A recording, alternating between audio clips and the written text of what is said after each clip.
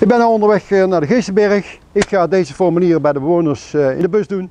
eh, Met de vraag of ze misschien het interesse hebben in de zonnepanelen die woonbedrijf overal wil gaan plaatsen. Er zijn drie mogelijkheden hoe ik dat ga doen. Het eerste is van, ruikt lekker trouwens, ik ga aanbellen bij de bewoners en even vertellen van wat woonbedrijf wil gaan doen met zonnepanelen.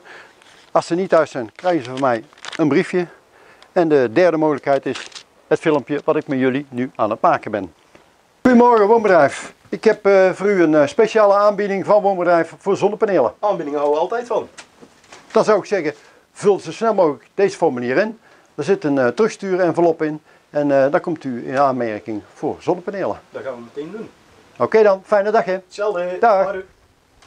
Ik heb dit namelijk twee jaar geleden ook gedaan daar in de kaartmakersring. En toen deed je van de 200 woningen, deed je 100 woningen mee. Dus ehm, weet je wat, we gaan samen eens kijken daar. Hey René, Ja, ik zag José aan de overkant. Hé hey, eh, Johan. Hé hey, jongen. ik had even een vraagje René. Ja. Ehm, zou ik voor jou eens mogen zien eh, wat de opbrengst is wekelijk van de zonnepanelen? Oh, ja, dat kan. Eh, Volgens mij ben ik het- heb ik er maar net op staan. Kom eens even kijken dan. Eh, deze week eh, totaal inkom staat er 12,90 euro voor de hele week. Maandag 2,24, dinsdag 2,44 enzovoort. 1 zoveel, slechte dag 96 cent. Maar eh, toch 12,90 euro voor een hele week. Dus ik hou ze. Ik lever ze niet meer in. Ja, Johan, kijk, dit is eh, de kabel die naar, naar binnen komt. Dit is eh, de vergaarkast en dit stuurt het allemaal door eh, naar beneden. Meer is het niet.